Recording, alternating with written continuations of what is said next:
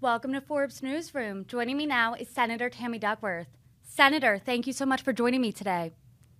It's great to be on. Thanks for having me. Of course. You introduced legislation earlier this month that calls on the Federal Aviation Administration to be more transparent about its emergency evacuation standards. Can you explain why you saw the need for your bill?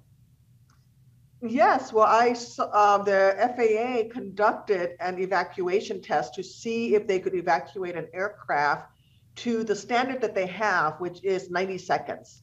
Um, and then when I looked at how they conducted the test, they only had 60 passengers on the aircraft and nobody had carry-on luggage and all the passengers were adults and under the age of 60.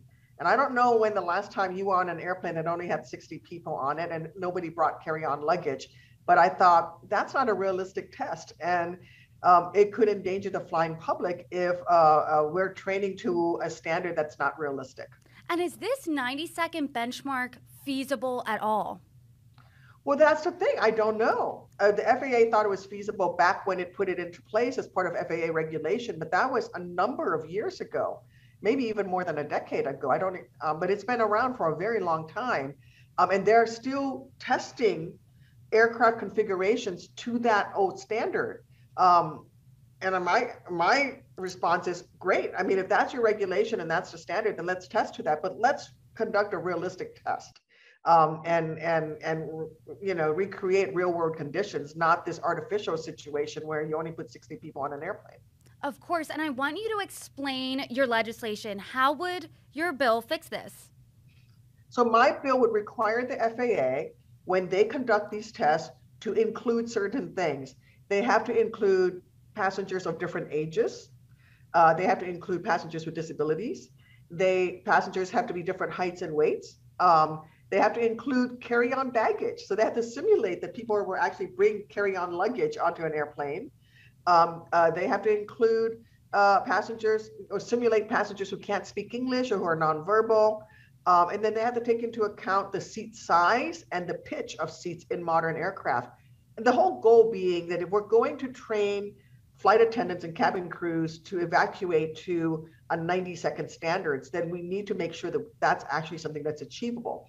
Um, and, and if it's not achievable, then we need to know that because you know the firefighters on the ground need to know how quickly they have to get to an airplane and how long it's going to take to evacuate that airplane. And right now we have no real no real world um, uh, benchmark by which to measure that.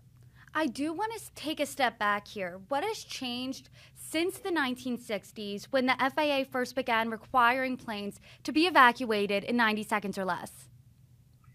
Well, let's see. Um, the seats have gotten smaller.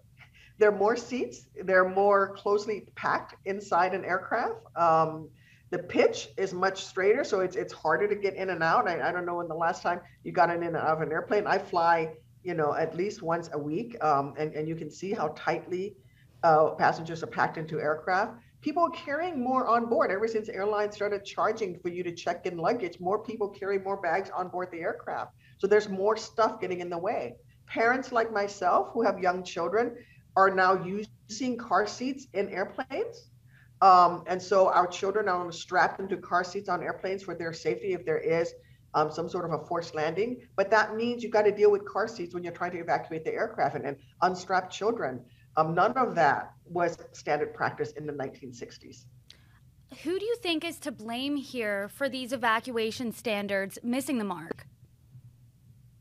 I just think it's not been updated. And I think that the FAA is training to an old standard and not taking into account um, modern aircraft configurations. And so um, uh, I felt that it was important to make sure that they do uh, take into account all of the variables that, that exist in modern day travel. You know, too often in the aviation industry, I'm, I'm a pilot. I, I, flew for the Army and I fly in uh, civilian as a general aviation pilot as well.